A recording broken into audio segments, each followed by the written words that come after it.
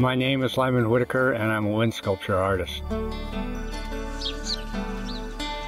I get a lot of my ideas from plants and forms. Sometimes I'll walk around and, uh, you know, I'll pick up a weed and it'll have some indications of which direction I should go. I often do cutouts out of paper and then move into the, the metals. And that involves forging, pounding, punching, connecting. I love the process of, of making a machine turn and do something.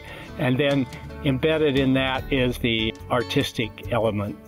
And with some luck, you end up with a nice piece. And if you don't, failure often takes you into a new work because it stops you from going where you go and forces you to go another direction.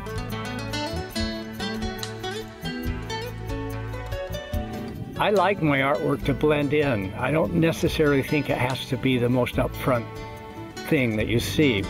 It's more something you can discover.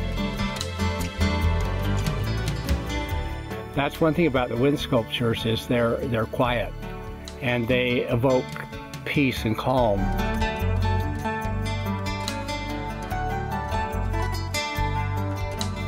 Arboretums and botanical gardens are the ideal home for my work. I find that the work is, is the most comfortable in this setting. Um, the work comes from plants and to return to a environment where plants are the focus.